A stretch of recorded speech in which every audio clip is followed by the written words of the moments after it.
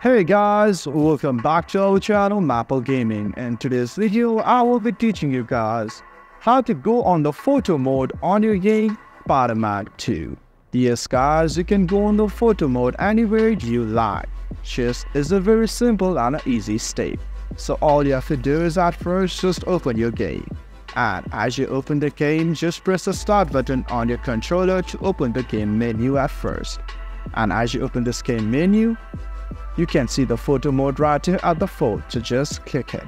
And as you click it guys you can see the photo mode has been turned on. So guys from here you can just select any of the angle you like. And also a fun note you can change the shoot anytime you like by going down here right in the shoots and just changing it like this. As you can see the shoot is changing. So guys that's how you go to the photo mode on your game Spider-Man 2 if you find our video helpful, please leave a like and please do not forget to subscribe our channel. Also hit the bell icon to get updates with our latest videos and drop a comment for reviews and more content like this. I will see you guys again in our next video. Thank you for watching.